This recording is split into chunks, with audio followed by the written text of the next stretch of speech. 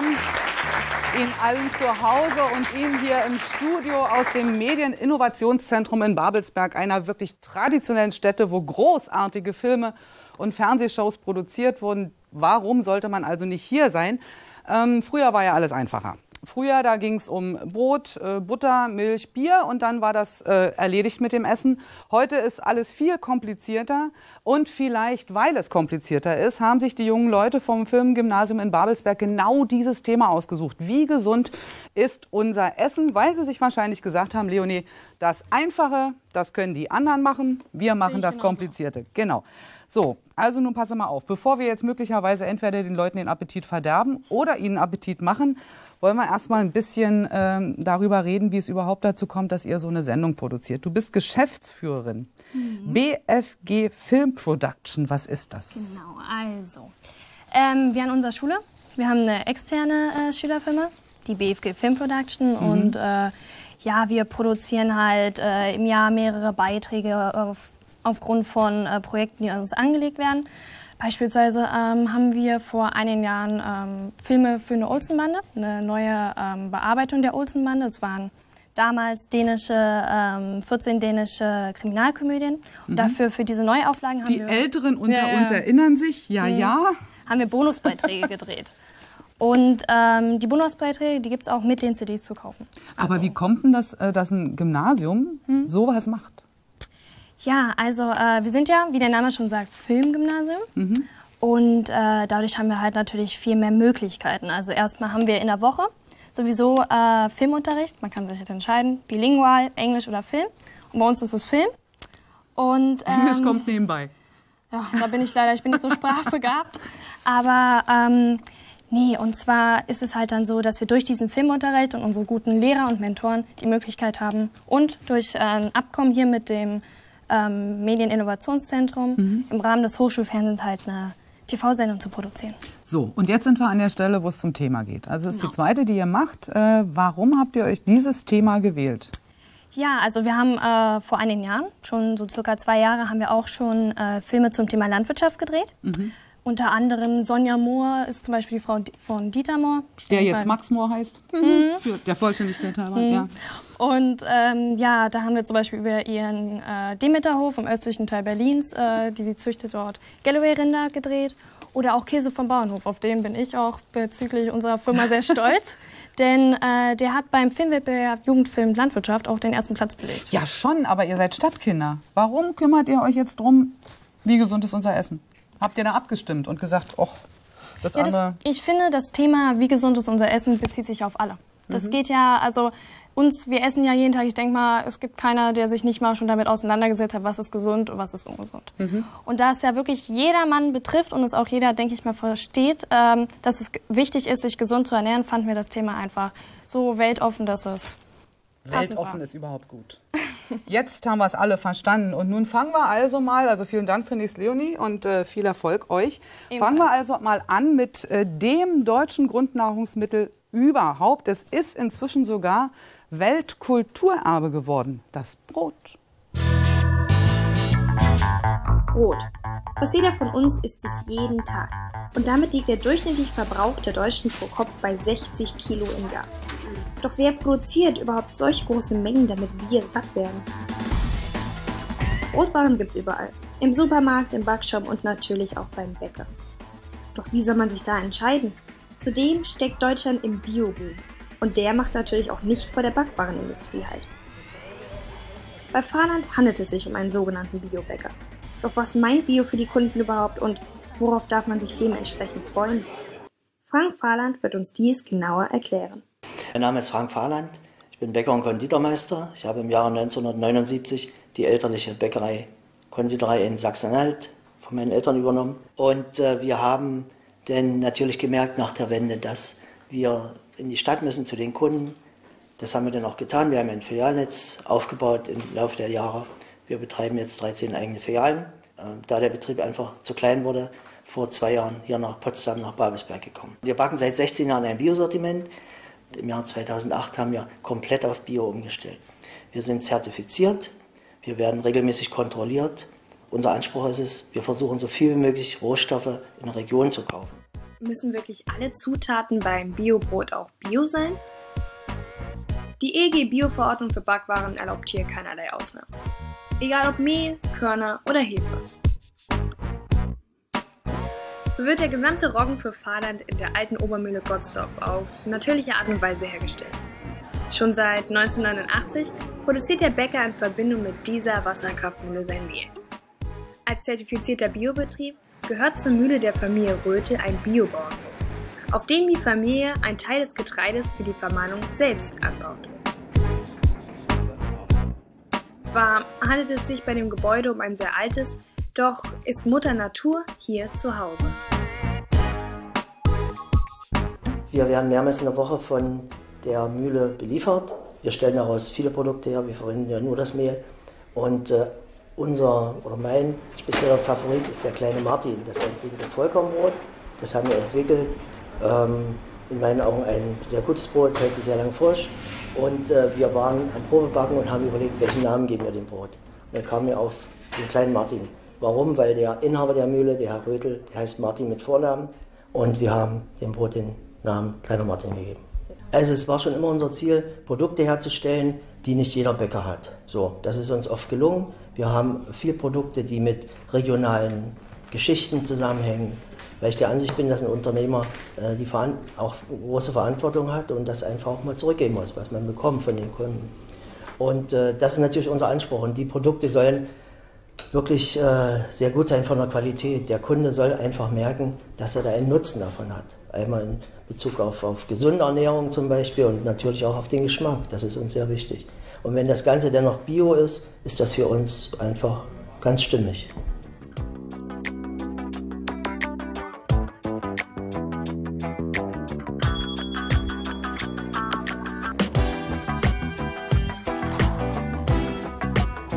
Wer hätte jetzt nicht auch Lust zur bewussteren Broternährung? Als Kunde des Bäckerbetriebes Fahrland wird dies möglich gemacht. Die gute Qualität und das Wohl der Kunden steht hier an oberster Stelle. So geht bei Fahrland Qualität vor Quantität. Tja, gucken wir mal, ob alle Lust haben. Nico Meyer ist hier von Fahrland. Also ich bin ja übrigens gute Kundin. Mache ich mich jetzt bei Ihnen beliebt, wenn ich natürlich, das sage? Natürlich, natürlich. Natürlich mache ich mich beliebt, weil Sie ja bei uns auf dem Sendergelände auch einen Laden haben. Aber abgesehen von der Lust, ist auch ganz schön teuer, gell? Naja, aber man bekommt gute Qualität dafür und da denke ich, da, das rechtfertigt den Preis. Okay, da können wir nachher noch ein bisschen genauer drüber reden, Dr. Stolp. Ballvi GmbH. Mhm. Ähm, sind Sie böse, wenn ich sage, was um alles in der Welt ist Ballvi? Äh, nein. Was ist es? Äh, Balvi ist ein Softwarehaus. Wir machen Software und haben uns spezialisiert auf Software für die Überwachung der Lebensmittelsicherheit. Mhm. Und das machen wir schon seit über 20 Jahren. Ähm, Lebensmittelsicherheit, das führt mich zu meiner allerersten Frage. Jetzt bin ich auf die Antwort extrem gespannt. Wann ist ein Lebensmittel sicher? Ja, wenn es für den Endverbraucher, sprich für den Kunden, zum Verzehr geeignet ist, wenn keine Fremdkörper enthalten sind, wenn die Qualität stimmt. Aber da müssten wir ja die halbe Supermarktpalette entsorgen, hören Sie mal. Sollte man vielleicht, ja, man muss genau darauf ah. achten. Ja. ja aber, aber so schlimm sieht es nicht aus, denke ich. Wann ist es sicher aus Ihrer Sicht? Gut, es muss die Anforderungen an die Hygiene erfüllen. Mhm. Es muss, äh, darf keine Schadstoffe enthalten. Mhm. Und was genau machen Sie, damit ein Lebensmittel sicher ist? Also Oder wir machen direkt gar nichts. Wir machen die Software für die Überwachung der Lebensmittelsicherheit. Es ist ja so, dass jeder Betrieb entlang der Lebensmittelkette, also angefangen vom Erzeuger bis hin über die Verarbeitung, Handel, bis zu den Bäckereien, Fleischereien. Gastronomie, die werden also regelmäßig von der Lebensmittelüberwachung von den Überwachungsbehörden kontrolliert. Mhm. Also ob sie die Anforderungen an die Hygiene und die Lebensmittelsicherheit erfüllen. Ja. Und dafür haben wir eine Software gemacht, die das unterstützt und die wird mittlerweile auch in allen Ämtern in Deutschland eingesetzt. Was zeigten die mir? Also die wird da reingeschmissen irgendwie und dann piept es irgendwie, oder? Nein, also da gibt's, äh, es sind also alle Betriebe erfasst. Es gibt eine Risikoeinstufung, es gibt bestimmte Checklisten, nach denen die Betriebe kontrolliert werden. Und es wird dokumentiert, welche Kontrollen durchgeführt wurden und welche Ergebnisse. Mhm. Denn das ist eigentlich immer das Wichtige. Es ist nur das gemacht, was auch dokumentiert ist. Das mhm. gilt für die Überwachung, wie auch für Herrn Mayer in seinem Unternehmen. Ja. Und in seinem Unternehmen. Ha. Ja, ja ganz, noch nicht ganz, oder? Ja, ja äh, gut. Äh, und dazu braucht man mittlerweile eine Software. Wo geht noch was ohne Software heutzutage? Ja. War es früher nicht einfacher? Ich habe es am Anfang der Sendung gesagt. Also früher bei den Großmüttern, wir, die Älteren unter uns erinnern sich noch, ja, ja, da ging man zum Bäcker und holte das Brot und da ging man zum Fleischer und holte, wenn man denn sich leisten konnte, irgendwie mal was. Und ansonsten war ja nicht so furchtbar viel vorhanden. Und wenn die Möhren wuchsen, dann holte man halt die Möhren aus dem Garten ja. und dann war Schicht im Schacht. Das war alles extrem sicher, oder? Ist es heute nicht kompliziert? Äh, es ist schon ein Stück weit kompliziert heute, aber es bringt natürlich auch viel mehr Sicherheit mit für die Produkte. Natürlich ist es ein Riesenaufwand, das alles sicherzustellen. Und Übertreiben wir nicht ein bisschen? Nee. Also wir, es ist schon nicht ohne so die ganzen Hygienevorschriften und Konzepte einzuhalten. Da steckt viel, viel Arbeit dahinter. Mhm. Aber jetzt hat sich ja Fahrland für eine ganz bestimmte Sparte entschieden. Also ich genau. meine, ich könnte ja auch bei einem anderen Bäcker was kaufen, was mich jetzt auch nicht wirklich umbringen würde. Oder ich hole aus dem mhm. Supermarktbrot. Sie machen ja noch eine ganz besondere andere Schiene. Warum? Ja, weil wir einfach der Überzeugung sind, ähm, dass die, dass die biologische Herstellung, äh, dass es einfach für die Lebensmittel, für den Kunden, für den Endverbraucher einfach äh, sicherer, besserer mhm. und deswegen fahren wir die Bioschiene. Sind Sie der Meinung oder können Sie es beweisen?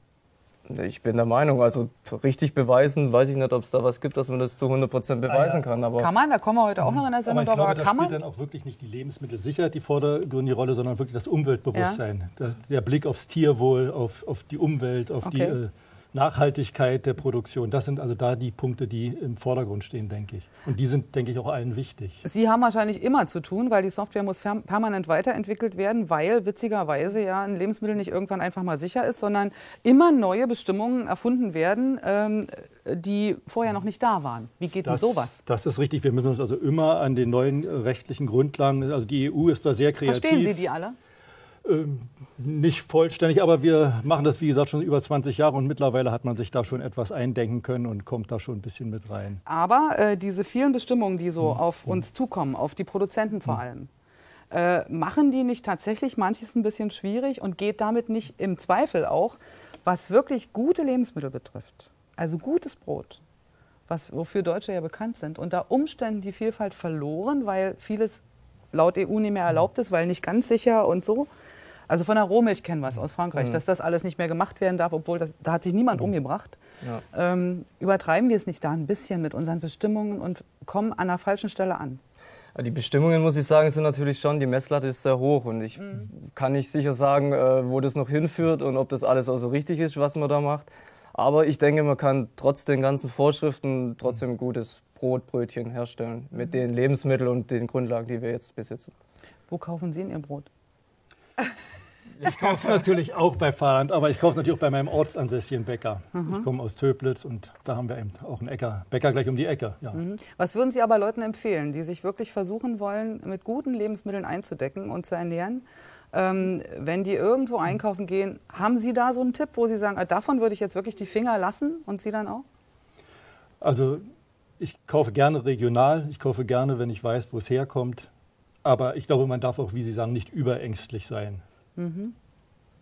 Also ich könnte jetzt nicht sagen, wo man die Finger unbedingt weglassen sollte. Da läuft auch noch einiges, da, wo ich denke, das ist nicht so ganz gesund für den Menschen. Aber da, Was zum Beispiel? Ja, die ganzen Zusatzstoffe, die ganzen Emulgatoren, die mhm. Enzyme mhm. teilweise und die nicht nachweisbar sind leider.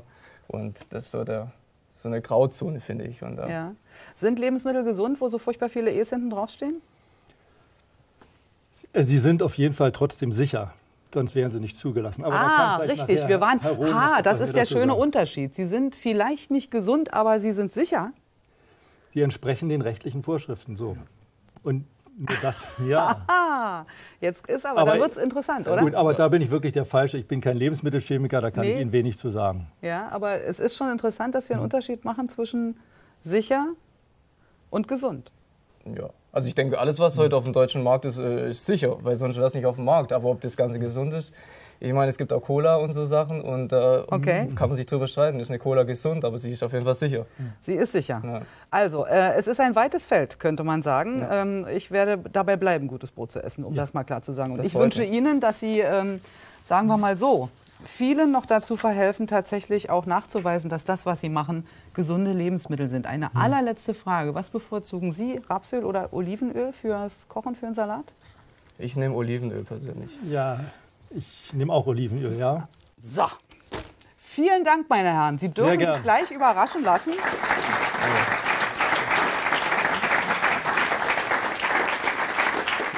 Denn hinter mir sehen Sie es schon, ein herrliches Rapsfeld. Ja? Im Märkischen hat man zu gewisser Zeit immer ganz, ganz viele große Rapsfelder. Nun darf man gern daran zweifeln, ob die auch wirklich alle zu Rapsöl verarbeitet werden oder nicht ganz woanders landen. Aber es gibt jemanden, der behauptet, Rapsöl wäre gesünder als Olivenöl. Mein Name ist Andreas Pfeiffer. Ich bin hier in der Charité als Direktor der Abteilung für Endokrinologie, Diabetes und Ernährungsmedizin, wo wir Patienten betreuen mit Erkrankungen aus diesem Spektrum. Und ich bin gleichzeitig Leiter von der Abteilung für klinische Ernährung am Deutschen Institut für Ernährungsforschung in Potsdam-Rehbrücke. Dort forschen wir im Wesentlichen über Ernährungsfaktoren, die zusammenhängen mit Gesundheit, aber auch Therapie von Erkrankungen wie zum Beispiel Diabetes oder Adipositas und Übergewicht. Wir wissen seit langer Zeit, dass ein enger Zusammenhang zwischen Fetten in der Nahrung und Gesundheit besteht. Und eines, was, ähm, von dem man eigentlich gut weiß, dass es günstig ist, ist Olivenöl. Da gibt es große Studien und als Wissenschaftler glauben wir immer an Studien, wo man mit einem sogenannten prospektiven randomisierten Design, das heißt, man teilt zwei Gruppen von Leuten, die eigentlich gleich sind, zufällig ein in die eine oder andere Gruppe und untersucht dann, wie reagieren sie auf eine bestimmte äh, Intervention, also das Essen von bestimmten Nahrungsmitteln, zum Beispiel Olivenöl gegenüber Rapsöl. Wir haben verglichen, ist das eine oder das andere günstiger für äh, einen Marker der Gesundheit. Wir haben, diese Studie war jetzt eine Pilotstudie, wir machen gerade die Folgestudie und darin wurden zweimal zehn Menschen zufällig eingeteilt in die Gruppe Olivenöl oder Rapsöl und die wurden gebeten, dass sie immer morgens zum Frühstück 50 Milliliter, also schon eine ganz schöne Portion von Olivenöl oder Rapsöl, so mit dem Joghurt oder mit einem Müsli oder mit sowas essen sollten. Das haben sie auch gemacht. Und das haben wir im Blut verfolgt. Man kann sehen, dass diese Fette im Blut ankommen und dort das Spektrum der freien Fettsäuren verändern. Also diese Omega-3-Fettsäure geht dann etwa auf den doppelten Wert im Blut hoch und wird dann auch verlängert in diese langkettigen Omega-3-Fettsäuren, die man oft als Supplemente auch bekommt, äh, die zum Beispiel auch in Fischen vorkommen und von denen man weiß, die sind relativ gesund und hemmen auch Entzündungsphänomene und sind wahrscheinlich auch günstig für die Leber. Äh, das haben unsere Probanden dann gemacht und zwar über vier Wochen. Und sie wurden vorher und hinterher untersucht von Untersuchern, die wieder nicht wussten, in welcher Gruppe sie drin sind. Ähm, und es wurden auf der einen Seite Blutwerte abgenommen, also die Leberwerte und die Blutfette und so weiter gemessen. Auf der anderen Seite wurde eine Biopsie gemacht, also ein Stückchen Gewebe rausgenommen vom Fettgewebe unter der Haut und darin wurde nach diesen Entzündungsphänomenen gesucht. Das interessante Ergebnis war, dass das Rapsöl schon deutlich besser abgeschnitten hat als das Olivenöl. Und zwar hat es auf der einen Seite das Cholesterin gesenkt, das hat das Olivenöl nicht getan. Diese Antwort kommt immer darauf an, was man vorher gegessen hat, aber da war das Rapsöl, die waren ja zufällig eingeteilt, eindeutig besser bei Menschen, die so ein Ernährungsmuster essen, wie wir es hier etwa üblicherweise essen, unser westliches Ernährungsmuster, was nicht sehr gesund ist eigentlich. Äh, zum Zweiten waren die Leberwerte deutlich besser, und zwar die Leberwerte, die eng verknüpft sind mit der Fettleber. Die Alanin-Aminotransferase heißt das Enzym. Das war deutlich niedriger in den Leuten, die das Rapsöl hatten, aber nicht bei denen, die das Olivenöl hatten. In der Studie sehen wir jetzt, dass Olivenöl äh, jetzt nicht nachteilig ist, das ist sicherlich auch ein gutes Öl, aber dass das Rapsöl doch noch Vorteile darüber hinaus hat. Äh, und Rapsöl kann man sehr weitgehend einsetzen in der normalen Ernährung eigentlich. Man kann eigentlich Butter in vielen Backwaren und in vielen anderen Speisen ersetzen durch Rapsöl. Das wäre gesundheitlich wahrscheinlich vorteilhaft. Das würde die Fettleber und auch das Cholesterin senken, damit Herzinfarkte und Schlaganfälle ähm, und auch die Probleme mit der Fettleber, also zum Beispiel Diabetes, reduzieren. Fettleber, Herr Professor Pfeiffer, das ist ja ein ganz dramatisches Thema. Ich würde jetzt gerne noch ein bisschen mit Ihnen weiterreden. Herkommen konnten Sie nicht, aber wir versuchen mal, ob wir Sie so erreichen können. Wollen wir es mal ganz kurz zusammenfassen? Wie gesund oder ungesund ist es denn nur unser Essen? Also die westliche Diät, das ist das, was wir so essen, ist im Ganzen sehr ungesund. Das kann man daran sehen, wenn unsere Diät irgendwo ankommt, wie in Japan oder in Afrika, dann werden die Leute meistens dicker sie kriegen Diabetes, sie kriegen Arteriosklerose, sie kriegen die Zivilisationskrankheiten, die unser Hauptproblem sind. Fragt man sich, was an dem Essen ist eigentlich das Problem? Und da muss man sagen, wir wissen das an sich ganz gut. Das eine sind, wir essen zu viele ungesunde Fette. Das heißt, zu viele gesättigte Fette, die vor allen Dingen aus tierischen Fetten stammen, also hauptsächlich aus der Butter äh, und ähm, dann auch aus der Wurst, aus Wurstwaren. Äh, und diese Fette sollte man eigentlich deutlich reduzieren. Wir essen ungefähr doppelt so viel, wie wir eigentlich für sinnvoll halten und wie auch gesund wäre. Sodass wir in jeder Studie, die wir machen, wenn wir den Leuten vorgeben, was sie essen sollen, immer erstmal eine deutliche Verbesserung kriegen. Äh, das zweite ist, wir essen zu wenig Ballaststoffe, Ballaststoffe vor allen Dingen aus Getreide, also Vollkornprodukte, sind eine, eine, sehr starke, sehr wirksame gesundheitliche Komponente. Und wir sehen selbst in Studien, wo wir die Leute eigentlich lehren oder sie dazu anhalten, äh, Vollkornprodukte zu essen, dass sie das Ziel nicht erreichen. Dass man da eigentlich gerne hätte. Und wir wissen auch, dass solche Vollkornprodukte zum Beispiel Diabetes und aber auch Herz-Kreislauf-Erkrankungen deutlich reduzieren können. So eins der großen Probleme ist natürlich Zucker. Wir haben zu viel Zucker im Essen drin und der Zucker ist meistens im Gebäck und solchen Sachen. Gebäck ist so eine Mischung, wenn das so Buttergebäck ist oder eben mit der guten Butter, der Kuchen. Das ist eine Mischung von Zucker und Fett und das ist so ziemlich ähm, eine bösartige Mischung. Also wissen Sie, Fahrland wäre jetzt ganz böse. Die machen herrlichen Kuchen, Bio kann ich Ihnen sagen. Ich esse den ja, aber jetzt mal abgesehen davon, wenn ich ab sofort nur noch Schwarzbrot esse und Rapsöl verwende und das dann noch in Bioqualität, ist es dann noch gesünder? Also Bioprodukte haben aus ernährungsmedizinischer Sicht eine recht geringe Bedeutung, weil mehr die Zusammensetzung der Nährstoffe als die Frage von jetzt Düngemitteln oder sowas eine wesentliche Rolle spielt.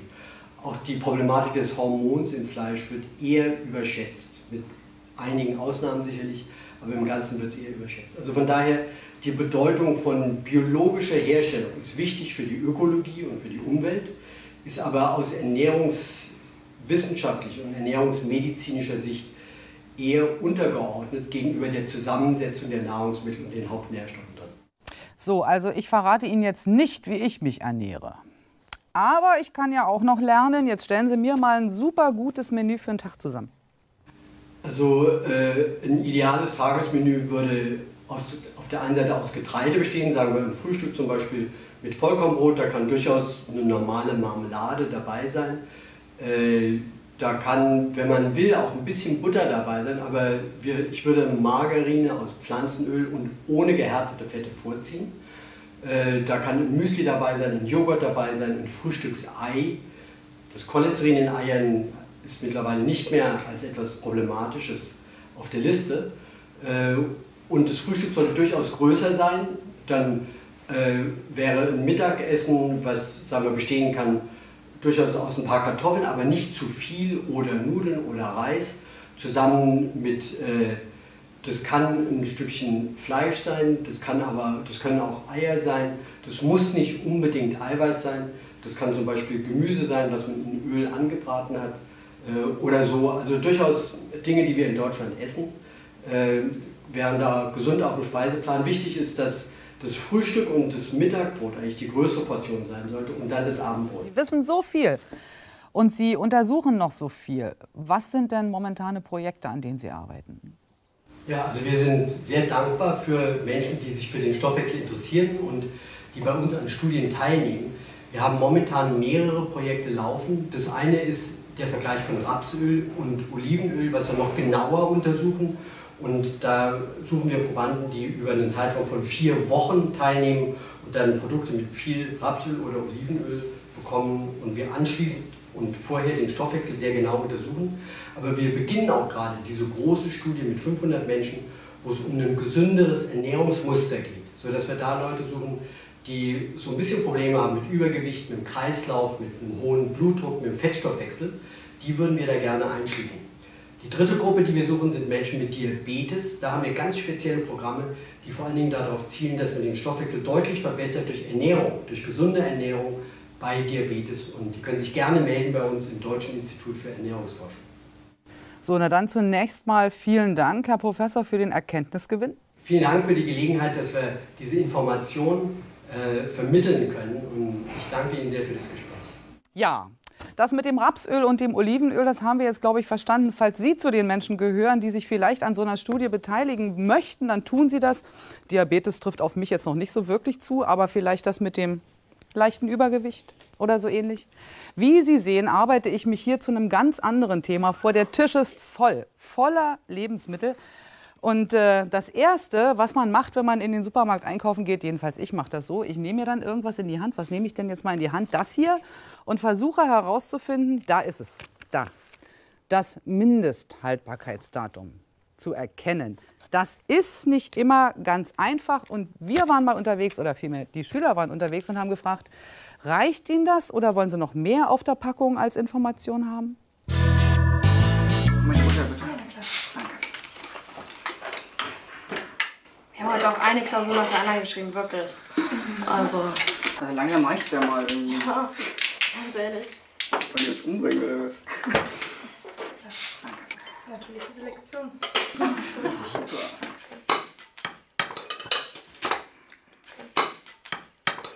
Irgendwie habe ich gar keine Lust gleich auf Brot. Haben wir noch Joghurt oder sowas? Ja, müsste eigentlich da sein. Äh, möchte denn sonst noch jemand einen? Ja, ich gerne. Ja, dann gucken wir also zwei. Hier. Danke dir.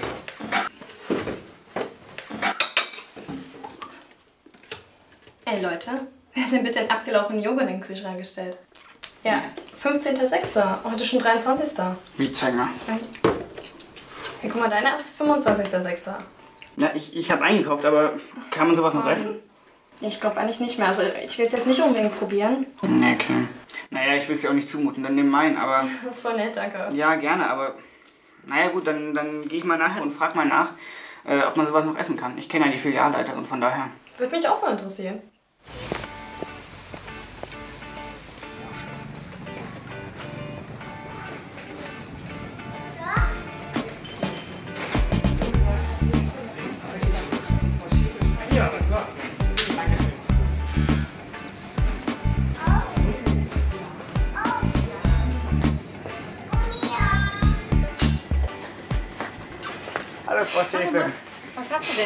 Genau. Ich habe heute mal eine kleine Frage. Und zwar, was bedeutet denn eigentlich das Mindesthaltbarkeitsdatum? Da gab es eine kleine Diskussion in unserer Video und ein bisschen allgemeine Verwirrung. Das Mindesthaltbarkeitsdatum bedeutet, dass der Hersteller eine Garantie auf dieses Produkt gibt. Geschmack, Aussehen, Qualität. Und auf jedem äh, Produkt ist ja auch ein Datum drauf, wo man sich auch nachrichten kann. Und wann werden Lebensmittel aus dem Regal genommen, die jetzt eigentlich abgelaufen sind?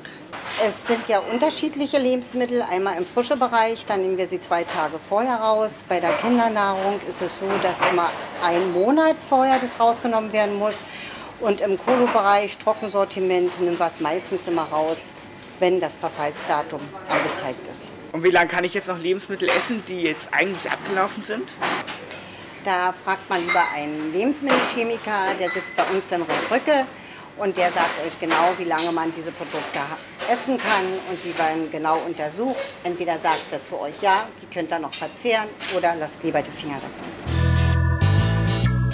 Ist ja ein bisschen schwierig, jedes Mal mit einer Packung zu irgendeinem Lebensmittelchemiker zu laufen. Aber wie es der schöne Zufall will, ja, ist jetzt jemand hier bei mir im Studio, der kennt sich wirklich aus. Professor Sascha Rohn. Sie kommen heute aus Hamburg. Von der Uni sind da am Lebensmittelinstitut beschäftigt, aber Sie haben eine Beziehung zu Potsdam-Rehbrücke, gell? Ja, genau. Ich habe lange in Potsdam gewohnt und ich habe am Ernährungsinstitut von Herrn Pfeiffer tatsächlich auch eine Doktorarbeit gemacht. Ach. Und wir machen auch ganz viele Projekte zusammen. Also die Projekte, die er geschildert hat, sind praktisch in Zusammenarbeit oft Sind Sie entstanden. zufrieden mit ihm, was er gesagt hat? Ja, doch, ich bin schon zufrieden mit Das ihm. freut mich. Dann wird er sich auch freuen. So, jetzt haben wir hier eine wunderbare, lustige Palette aufgebaut. Ja. Und trotzdem würde ich gerne, bevor wir uns an die eigenen, an, äh, einzelnen Produkte machen, mal ein bisschen was Allgemeineres fragen. Ähm, Mindesthaltbarkeitsdatum und Verfallsdatum. Das, Das wird ja sind- schon gerne mal verwechselt, oder? Das sind zwei ganz, ganz, ganz verschiedene Dinge. Nämlich? Mindesthaltbarkeitsdatum ist tatsächlich, wie die Dame im Bericht äh, gesagt hat, das Datum, wo der Hersteller äh, eine gewisse Qualität und eine gewisse Funktionalität garantiert. Das eine heißt, Funktionalität dieser also der Geschmack, Wurst hier der zum Geschmack Beispiel. beispielsweise, dass sich der Geschmack bis zu diesem Datum äh, nicht signifikant verändert und danach kann langsam vielleicht Alterung oder so einsetzen und es schmeckt vielleicht ein bisschen ranzig. Was macht denn, äh, ich meine, was, eine gealterte Wurst, ja, Ja. die darf hier bis zum 23.06. steht hier drauf, ganz bestimmt.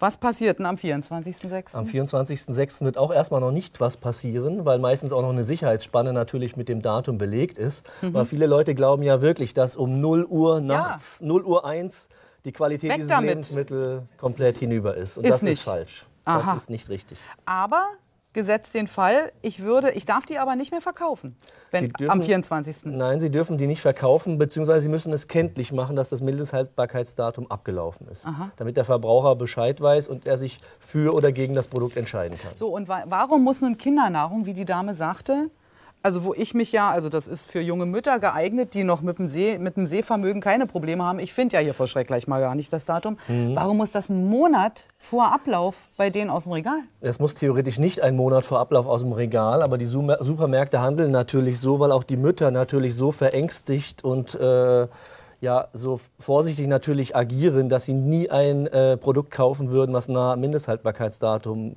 dran ist, mhm. obwohl das eigentlich aus wissenschaftlicher Sicht nicht nötig ist. Ähm, das ist schön, dass Sie das sagen. Gerade gab es eine WWF-Studie zur Vernichtung von Lebensmitteln. Ja. Ähm, das könnte ein Grund sein. Das ist ein massiver Grund. Wir schmeißen so viele Lebensmittel weg. Die Privathaushalte schmeißen am meisten Rohstoffe weg, ungesehen in den Mülleimer, mhm. nicht mal geöffnet, um zu gucken, ist es ist denn es vielleicht denn noch? noch? gut oder nicht? Ja, und mhm. jetzt noch mal kurz zum Verfallsdatum, was ja was völlig anderes ist. Genau. Das Verfallsdatum wäre in dem Sinne wirklich das Datum oder der Zeitraum, wenn ein Lebensmittel, wenn ich es öffne, nicht mehr funktioniert. Es ist verschimmelt, es schmeckt nicht mehr, ich wirf es wirklich weg. Und das Verfallsdatum wird oftmals eigentlich ist gar nicht der richtige Begriff, sondern der Begriff ist das Verbrauchsdatum. Jetzt sind wir nämlich, wenn Sie mal bitte schauen genau. möchten, also hier steht nämlich drauf, äh, bei maximal plus 2 Grad zu verbrauchen bis. Genau, und verbrauchen bis bedeutet wirklich danach bitte entsorgen, weil das Produkte sind, wo wirklich die Sicherheit, die gesundheitliche Unbedenklichkeit des Lebensmittels nicht mehr gewährleistet ist. Mhm. Beispielsweise hier äh, Hackfleisch. Hackfleisch äh, ist natürlich ein guter Nährboden für Mikroorganismen, die krank machen können. Und dementsprechend sollte man hier danach wirklich das Produkt entsorgen. Aber sagen Sie mal, Herr Professor, müssen wir nicht lauter so eine aufgeregten Aufdrucke machen, weil sich unser Einkaufsverhalten zum, sagen wir mal, eher ungünstigen verändert hat? Das Horten ist so. und so? Das ist so, das ist so. Wir kaufen natürlich Unmengen ein. Am Ende des Monats oder am Ende der Woche entsorgen wir eigentlich sinnlos, weil uns dann doch einfiel, ich hatte diese Woche doch keine Lust mehr auf den Joghurt XYZ und ich werfe ihn einfach weg. So, jetzt ist das gute Stichwort Joghurt gefallen. Wer möchte denn hier mal probieren? Möchte mal jemand? Junge Frau, Sie haben Mut. Aber Sie sind ja jetzt auch sozusagen von ihm äh, zu einer tiefen Beruhigung ja, versorgt worden mit der Information, es kann Ihnen nichts Schreckliches passieren. Finden Sie ja eigentlich das? Obendrauf. Beim Joghurt meistens obendrauf. Also ich kann Ihnen sagen, ja, normalerweise ist Einkaufen inzwischen zur Wissenschaft geworden. Hier kann ja eigentlich gar nichts passieren. Das ist ja alles ich noch. Ihnen das mal auf. Guck mal, hier. Okay, Dankeschön. Wer sind Sie überhaupt? Äh, Kati. Sie sind die Kati. Die Kati darf jetzt probieren. Möchten Sie auch einen probieren? Ich äh, probiere auch einen. Er hat auch Mut. Ich bin auch mutig. Ich mache das mit hier. Man soll mit vollem Mund zwar nicht sprechen, aber jetzt, wie kriegen wir jetzt raus? Sie hat sofort angefangen zu löffeln, ja? Ja. Das ist doch ganz falsch, oder? Äh, nein, nicht unbedingt. Das heißt, sie hat natürlich ein großes Vertrauen, aber in dem Falle äh, zeigt auch, wenn ich in den Becher dann hineinschaue, dass erstmal Wir nichts schauen mal gemeinsam in den Becher rein, ja? Also so sieht das jetzt ja aus. Ich habe keine dunklen Punkte oder irgendwas nach Schimmel aussieht. Da ist auch normal flüssig dieser Nun ja, Joghurt. das kann ja auch daran liegen, dass wir alle miteinander geschüttelt haben. Ja, Und aber in dem Falle sieht, nee, in dem Falle ist das schon, glaube ich, ganz normal. Wollen wir jetzt mal kurz meditativ kosten, Kathi? Wir würden auch sozusagen dran riechen und wenn man da natürlich riecht, es riecht schon ranzig oder sauer oder Nein, es riecht nicht ranzig. Nicht wie der Joghurt riechen sollte, dann mhm. ist Vorsicht geboten. Gut, also haben wir jetzt Mut? Wir haben jetzt Mut. Eins, zwei, drei, zugleich. So. Wonach soll der überhaupt schmecken? Ach so. Ja. Kuchen. Nach Zupfkuchen. Das ist ja auch merkwürdig, oder? Ein Joghurt, der nach Zupf schmeckt da? Ja, das ist mein Lieblingsjoghurt. Oh, Entschuldigung. Das schmeckt tatsächlich artgerecht. Also so, was ich erwarten würde. Artgerecht mhm. ist sehr, sehr hübsch. Kathi, wie, wie, machen Sie es denn? Wenn Sie, gehen Sie wirklich gucken, ob da was da draufsteht aus so einer, aus so einer Dose und nehmen es nicht mehr mit, wenn draufsteht Ach so. Mindesthaltbarkeitsdatum? Nee, ich gucke immer, ob der ähm, Deckel gewölbt ist. Aha. Weil ähm, okay. ich habe mal eine Doku gesehen, da ging es darum, dass man zu viele Lebensmittel wegwirft, auch wenn wenn das Datum schon äh, überschritten ist, dass man das nicht unbedingt wegschmeißen muss, sondern mhm. man kann auch gucken, ob das gewölbt ist. Und wenn es gewölbt ist, dann ist es halt ein Zeichen dafür, dass es nicht mehr gut sein kann. Also wenn Sie einkaufen gehen, würden Sie tatsächlich im Supermarkt jetzt den Joghurt noch mitnehmen nach Hause, der an dem Tag abgelaufen ist und würden nicht hinten, ganz hinten, nach dem ganz frischen Kram? Nee, ist ja auch ein bisschen umständlicher, den von hinten zu nehmen. Macht sie es richtig? Das wäre genau richtig. So sollte es eigentlich sein. Wenn man tatsächlich ein bisschen mit einem Plan in den Supermarkt geht äh, und ich weiß, ich esse den Joghurt eh heute, dann ja. kann ich auch noch diesen Joghurt kaufen oder ich kaufe den, der am nächsten Tag abläuft. Aber wenn ich, äh, ich brauche keinen Joghurt kaufen, der noch eine Mindesthaltbarkeit von einem Monat hat, wenn ich ihn eh morgen zum Frühstück verzehre. In der Tat. Ähm, liebe Kathi, Sie dürfen den Joghurt mitnehmen. Und aufessen. Vielen Dank für den kleinen Test. Und Sie muss ich jetzt aber trotzdem noch was anderes fragen. Nudeln, Ablaufdatum. Hören ja, Sie mal genau. zu. Also das ist ja nun irgendwie ganz erstaunlich, oder? Ja. Also wie gesagt, das ist eine Fertigpackung. Das heißt, es wird angeboten, damit sich der Kunde, der Verbraucher im Supermarkt informieren kann. Ja. Und zu dieser Info gehört auch das Datum, wann die Qualität dieses Produktes sich verändern kann. Und das ist das Mindesthaltbarkeitsdatum. Das ist im Falle von Nudeln übrigens Jahrzehnte später. Genau. Das können meine Enkelkinder noch hier essen. In dem Falle also bis 2018 als Beispiel. Ja. Das ist also wirklich noch lange hin. Was kann denn da schlecht werden? Das Ei? Es kann, wenn das mit Ei ist, kann auch das Ei schlecht werden, aber ansonsten natürlich äh, überall in jedem Lebensmittel sind auch Inhaltsstoffe drin, die sich langsam verändern können. Mhm, Seien okay. es Fette, die können dann ranzig werden, wie andere Fette auch, mhm. oder auch andere Inhaltsstoffe, die können das Produkt verfärben. Also die Qualität ist einfach nicht mehr die, die es war, wenn ich das Produkt abgefüllt habe. Wissen Sie, was das Allerbeste ist? Es gibt ein paar Lebensmittel, mal sehen, ob Sie drauf kommen, welche ich meine. Da kommt überhaupt kein Stempel drauf. Obst und Gemüse. Richtig. Ist das nicht großartig? Genau. Da müssen wir ganz alleine mit unserer Nase und genau. unserem genau. Geschmack entscheiden, ob wir es verzehren oder nicht. Genau, das ist eigentlich der gesunde Menschenverstand, der da zählen sollte. Ja. Wenn man wirklich auf Obst das schönste Beispiel sind immer die Erdbeeren, weil man da das, den grünen Schimmel wunderbar erkennen kann. Und ich krieg richtig Appetit, wenn Sie das so sagen. ja, ja? Und danach entscheiden wir natürlich, ob wir das verzehren oder kaufen. Ja. So, das war jetzt sehr erhellend. Ich habe mich zu bedanken. Vielen Dank. Ich habe zu danken. So.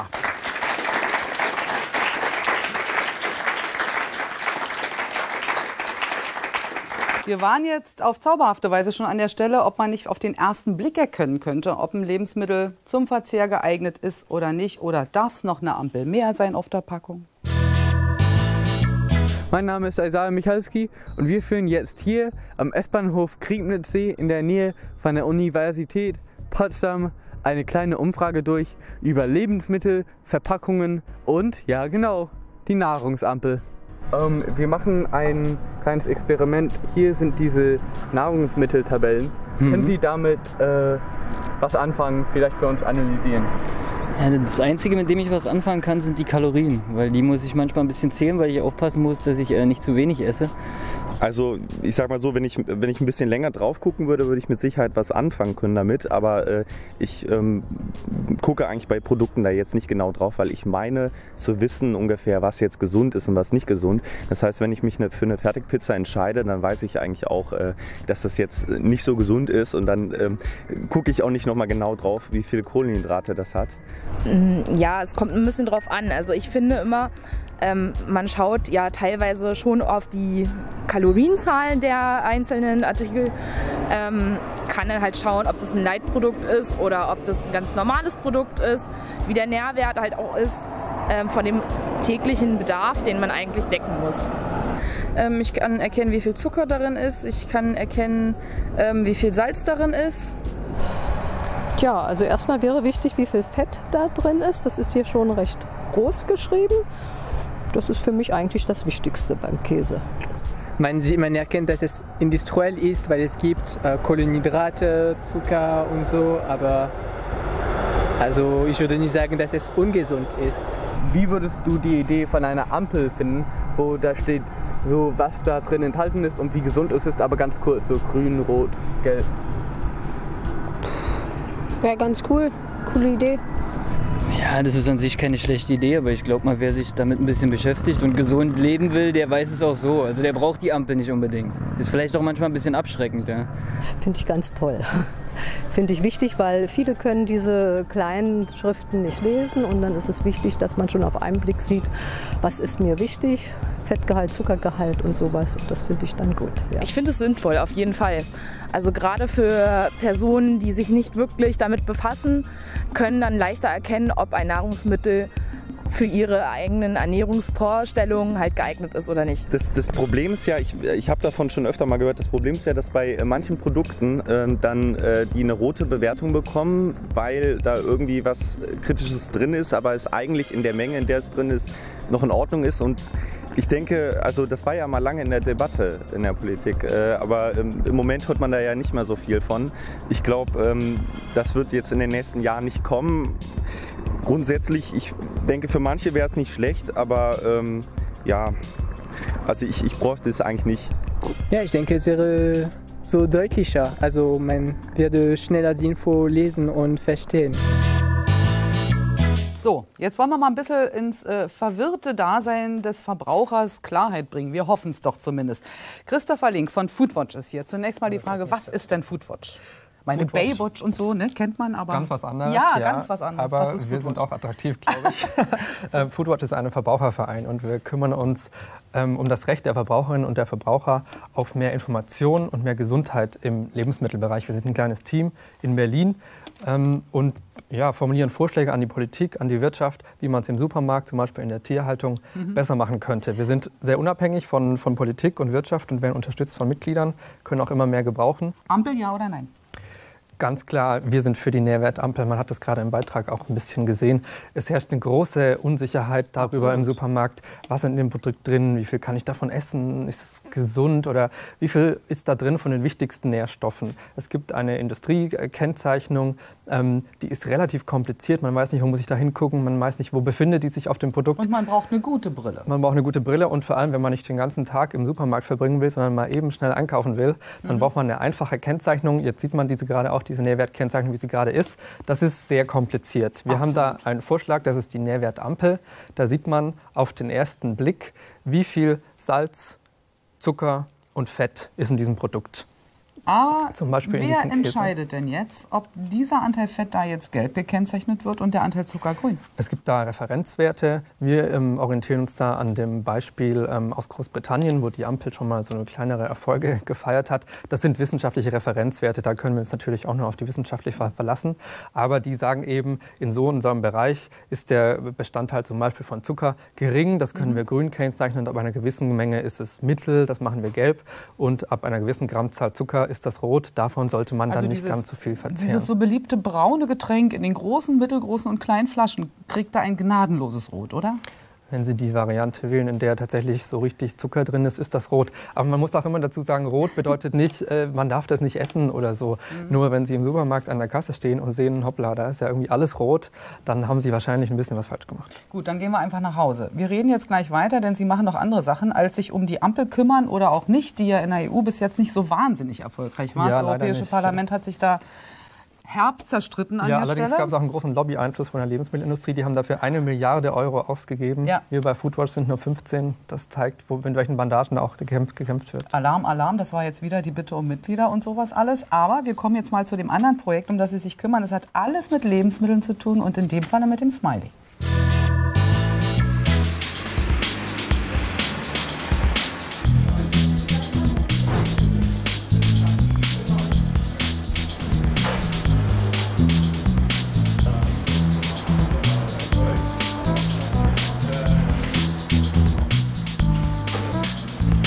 Das Smiley-System äh, wurde eingeführt in Prenzlauer Berg und auch in Lichtenberg. Und das ist eine Geschichte nach dänischem Vorbild. Und das Smiley-System widerspiegelt die Lebensmittelkontrolle an sich in Gaststätten, Restaurants, in Schankwirtschaften. Und das dient dem Zweck, dass es für die Verbraucher, für die Gäste, für die Kunden am Eingang schon ersichtlich ist, wie der Betrieb dort abgeschnitten hat in Bezug auf äh, Lebensmittelkontrolle, Hygiene, Schulung, alles was damit zusammenhängt, was auch eingehalten werden muss, damit auch wenn Salami beim Essen draufsteht, auch Salami drin ist.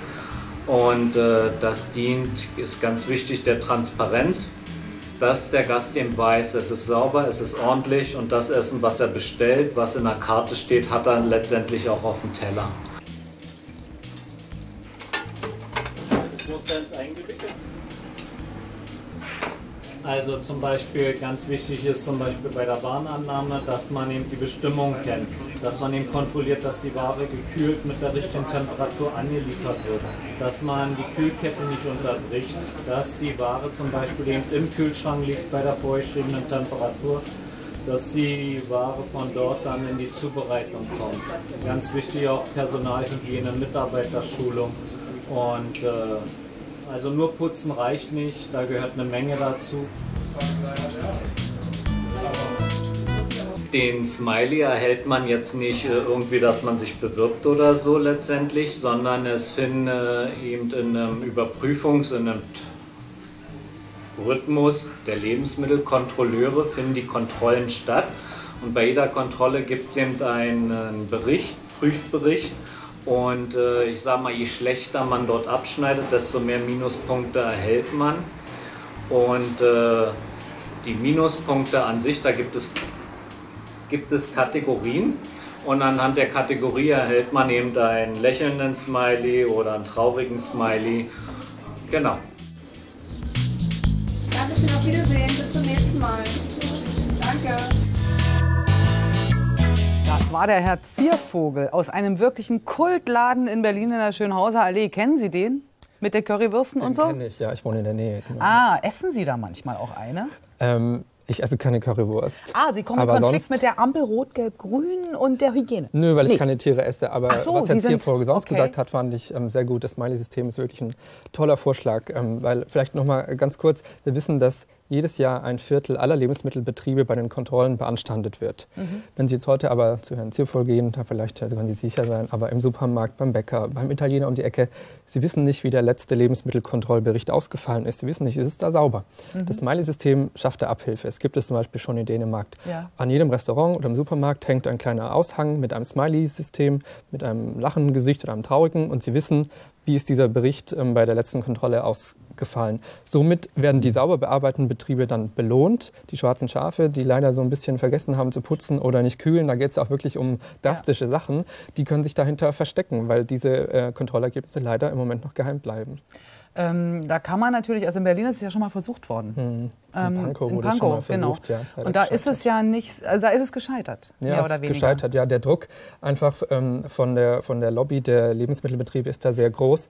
Auch der ähm, Bundesernährungsminister Christian Schmidt m, macht da keine großen Anstalten, sich umzusetzen. Aber in den Bundesländern, zum Beispiel eben auch in Berlin, auch von der Politik, bekommen wir da Unterstützung von den Krankenkassen. Alle sind irgendwie dafür, aber leider ist es immer noch so, dass die Lobby der Lebensmittelindustrie da großen Einfluss hat. Und deswegen müssen wir uns dafür einsetzen, dass wir dieses Smiley-System bekommen, weil das vieles einfacher machen würde. Also was ja tatsächlich so ist, ist als Gast, wenn man in irgendein Restaurant geht und das ist vorne alles ganz schön, weiß man noch lange nicht, wie es in der Küche aussieht. Genau so ist das, ja. Und da geht es eben nicht nur darum, dass irgendwie ein Handtuch falsch aufgehängt wurde oder man mal hinter dem Kühlschrank nicht geputzt hat, um Gottes Willen. Aber da geht es eben auch um Dinge wie äh, Gammelfleischsachen oder Analogkäse, der da auf der Pizza landet, obwohl das nicht auf der Karte steht. Oder auch um Kühlsachen. Sie wissen, Wir wie sollten es vielleicht noch mal ganz kurz das Wort ist. Analogkäse, dem vielleicht dem, der es noch nie gesehen hat, erläutern. Das ist Naja. das, was eigentlich aussieht wie Käse, aber Ja, das ist einfach so ein bisschen zusammengepanscht und wenn ich irgendwie eine Pizza bestelle oder so, auf der guter Käse drauf ist und die kostet mich dann auch gerne ein paar Euro, Mhm. dann möchte ich ja eigentlich auch, dass der Käse drauf ist und nicht irgendwie künstlich zusammengemixte Sachen, von denen ich nicht so ganz weiß, was für Zusatzstoffe und so weiter sind da drin. Aber klären Sie mich auf, also wenn es in Dänemark funktioniert, wo es ja auch eine Lebensmittellobby gibt, warum funktioniert es da und hier nicht? Tja, das hängt immer so ein bisschen davon ab, worum sich die Politiker kümmern. Bei uns ist es leider teilweise so, dass die Politiker sehr auf die Industrie hören und weniger auf uns Verbraucher. Und da müssen wir uns einbringen. Das versuchen wir als Foodwatch. Wir haben fast 80.000 Menschen, die dieses Smiley-System wollen auf unserer Website. Und ähm, in Dänemark wirkt das System. Ne? Die Quote der Beanstandungen ging zurück. Ähm, die Lebensmittelbetriebe finden das inzwischen auch super.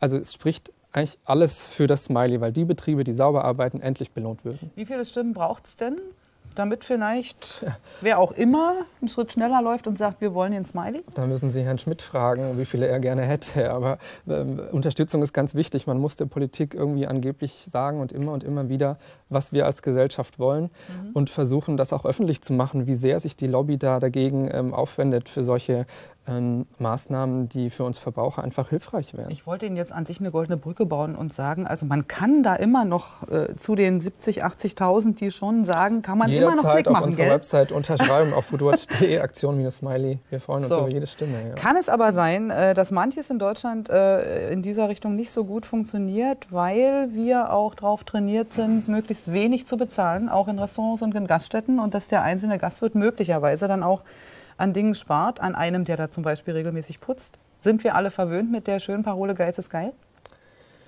Das weiß ich nicht so genau. Ich glaube, viele Menschen wollen, wenn sie irgendwie was Anständiges zu essen bekommen, wo sie darauf verlassen können, dass das halbwegs gesund ist und sauber gearbeitet wird und auch die Mhm. Angestellten ähm, gut bezahlt werden, auch entsprechend Geld dafür ausgeben. Wenn ich aber nicht weiß, ist es denn jetzt dort, wo die Pizza nur 4 Euro kostet, ähm, nicht auch sauber, dann ist es natürlich schwierig irgendwie. Ähm, diese ganze Lebensmittelgeschichte kriegt ja Dimensionen im Zuge der Globalisierung, an die wir, als wir ganz klein waren, ja alle noch nicht gedacht haben, äh, mit denen aber unsere Kinder und Enkelkinder leben werden müssen. TTIP ist ein gutes Stichwort, Großes in dem Thema, ist ein ja. großes Thema. Äh, Kein Mensch weiß eigentlich so wirklich, was drinsteht. Es Richtig, gibt nicht ja. wirklich was zu lesen. Man kann sich an dem kanadischen ähm, Abkommen ein bisschen orientieren. Ähm, nun gibt es die einen, die sagen, Freunde, es wird großartig werden. Wir kriegen jeder überall alles zu jeder Zeit auf der ganzen Welt. Auch Lebensmittel, von Mhm. überall her. Der gute Ahornsirup aus den USA wird dann über uns kommen, Mhm. ungeprüft. Was Mhm. sagen Sie? Naja, also äh, prinzipiell geht es ja darum, dass zwischen der EU und der USA da ein Handelsabkommen ähm, verhandelt wird. Es soll bis Ende des Jahres fertig sein. Ähm, und da geht es erstmal nur darum, dass man Handelsbeschränkungen irgendwie auflöst. Also es gibt ja in beiden ähm, Ländern, beziehungsweise EU und USA, unterschiedliche Standards. Es können Ja. Schraubenlängen sein oder Blinkerfarben. Das können wir alles von mir aus angleichen. Kein Aber da Problem. brauchen wir kein Abkommen extra, sollen Genau, machen. können Sie es machen. Ja. Aber wenn es um Lebensmittel geht, Ja. wenn es um äh, Standards geht wie Chemie oder auch die Lebensmittelkennzeichnung, wir haben vorher über die Ampel gesprochen, dann kommen wir ins Spiel und da sagen wir ganz klar, äh, TTIP, wie es jetzt geplant ist, auf Kosten der Verbraucher und auch auf Kosten der Demokratie, ähm, nein, danke. Warum nicht? Was ist daran so furchtbar? Das Grundproblem ist, wenn Sie Standards angleichen, dann sagen Sie, ähm, das ist jetzt der Standard, den erkennen wir an, zum Beispiel Lebensmittelkennzeichnung. In diesem Abkommen könnte stehen, wir erkennen die Lebensmittelkennzeichnung gegenseitig an.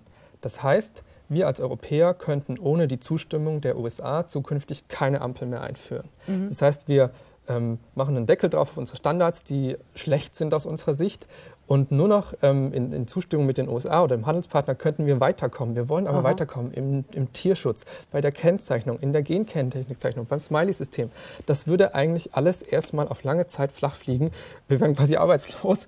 Ähm, wir sind wirklich ganz klar gegen TTIP und wir haben schon Mhm. zwei Millionen Unterschriften gesammelt, europaweit mit vielen anderen Organisationen.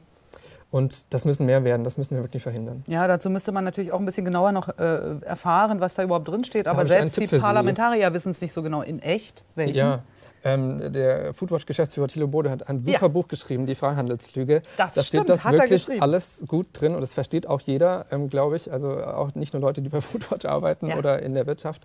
Das Es kann ich nur jedem empfehlen. In der Tat, allerdings darf ich hinzufügen, ich habe es sogar schon gelesen, äh, es ist durchaus auch polemisch. Es gibt noch mehrere Bücher zum Thema. Wenn man die ergänzend dazu liest, wird das Bild, finde ich, noch Von runder. aus, ja. Aber Tierschutz hatten Sie gerade noch angesprochen. Da gibt es gerade eine ganz neue ähm, Kampagne, kann man Kampagne sagen, Ja, die äh, sagen. Sie gestartet haben. Worum geht es da? Eigentlich ist es ein sehr ernst gemeinter Vorschlag, aber man Ja. kann es auch Kampagne nennen. Mhm. Wir haben uns einfach mal die Haltungsbedingungen ähm, von Nutztieren, wie man sie nennt, ähm, angeguckt. Und wir kennen alle diese, diese Bilder. Ja. Aber wir wissen, dass dort ähm, Schmerzen, Verhaltensstörungen, Sterberaten einfach an der Tagesordnung sind. Den Tieren geht es wirklich alles andere als gut. Und wir sagen, wenn wir uns als Gesellschaft darauf einigen, dass wir tierische Produkte konsumieren wollen, dann steht diesen Tieren der höchstmögliche Haltungsstandard und die Gesundheit zu. Wenn Sie heute aber in den Supermarkt gehen und eine Milch kaufen und eine Butter, Mhm. dann wissen Sie nicht, ob das Tier gesund war. Wir essen alle ständig Produkte von Tieren, die krank waren. Mhm. Und wir glauben, wir brauchen höhere Haltungsstandards, die dann aber auch für alle Tiere gelten. Es kann nicht sein, dass die meisten Tiere großes Pech haben und in der Mhm. konventionellen Tierhaltung landen und ein paar so Nischenprodukte und eine Bierhaltung, wo leider auch bei weitem nicht alles in Ordnung ist, Ja. die haben ein bisschen mehr Glück. Allen Tieren stehen die gleichen Haltungsbedingungen und zwar die besten zu. Und da muss die Politik ran, diese Standards zu formulieren. Man merkt Ihnen die Leidenschaft an. Vielen Ja. Dank, vielen Dank dafür, dass Sie uns einen kleinen An Einblick gegeben haben. Und wir hoffen ja alle, dass die Lebensmittel gesünder werden oder bleiben und alles, was dazugehört. Das wollen wir doch alle, gell? Absolut. Wollen wir. Vielen Dank.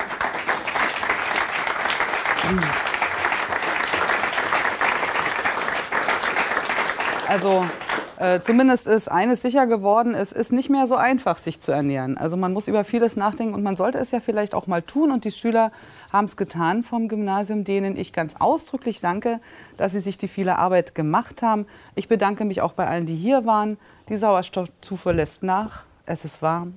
Schönen Abend noch. Tschüss.